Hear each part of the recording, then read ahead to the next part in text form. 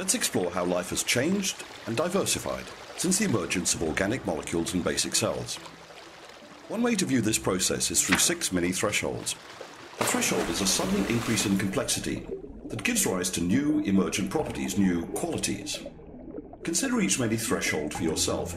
Does it mark something new and different? And if so, why? Our first mini threshold is photosynthesis. It's likely that the first prokaryotes evolved deep in the ocean near massive vents that provided them with chemical and heat energy. About 3.5 billion years ago, some cells migrated to the ocean surface and evolved to use vastly more abundant energy from the sun. The process they developed to do this is called photosynthesis. It led to an energy bonanza, and that enabled life to spread to many more places. And since oxygen is created as a byproduct of photosynthesis, huge numbers of photosynthesizing prokaryotes over millions of years radically transformed our atmosphere from one rich in carbon dioxide to one richer in oxygen. Oxygen was poisonous for many species, so they died off. But new species emerged that could use oxygen's amazing chemical energy. Mini threshold 2 is the emergence of eukaryotes about 2.5 billion years ago. These are more complex cells whose DNA is locked up inside a special case called the nucleus, which help protect and preserve vital genetic information. Eukaryotes also contain tiny organs called organelles. Like the organs in your body, they perform special functions such as photosynthesis or processing oxygen. This meant that eukaryotes could thrive in Earth's increasingly oxygen rich atmosphere, while many prokaryotes perished. That's a pretty important development since we are made entirely of eukaryotic cells. Around 1 billion years ago, we crossed mini threshold number 3, the introduction of the first multicellular organisms.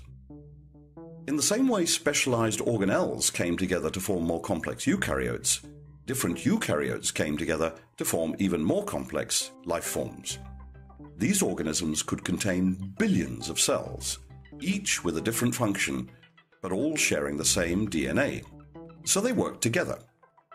With networks of specialized cells in cooperation, multicelled organisms could respond to changes in the environment in entirely new ways, further developing a key survival trait of life that we call homeostasis. The development of brains is mini threshold 4. Multicelled organisms needed a way to coordinate all the activities going on inside them and this became the work of special nerve cells. In some organisms, these cells began to cluster at the head and down the spinal cord to form the first brains.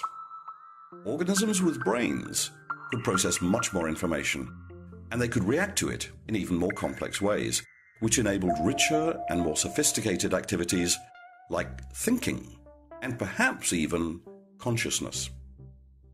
Mini threshold number five is when life moves from the ocean to land.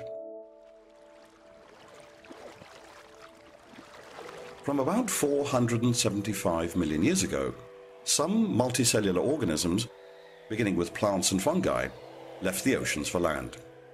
There was a great incentive.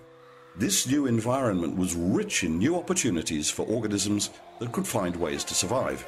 But that was a challenge, though as these organisms had to develop special skins to avoid drying out, special ways to breathe out of water, and new ways to reproduce. The modern equivalent would be humans trying to live in space. Mammals, the forerunners of you and me, account for mini threshold number six. The first animal to live on land may have been like a modern lungfish, but other land animals soon evolved, such as amphibians, but these still needed to return to the water to reproduce. Then came reptiles, like crocodiles or dinosaurs. These developed large, leathery eggs that could survive well away from water.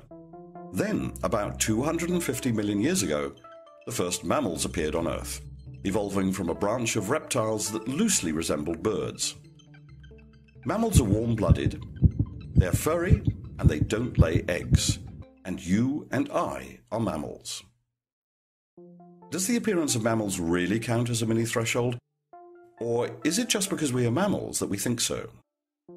What would be other candidates for mini thresholds, by the way? The development of backbones? The ability to think? Or what about the concept of family?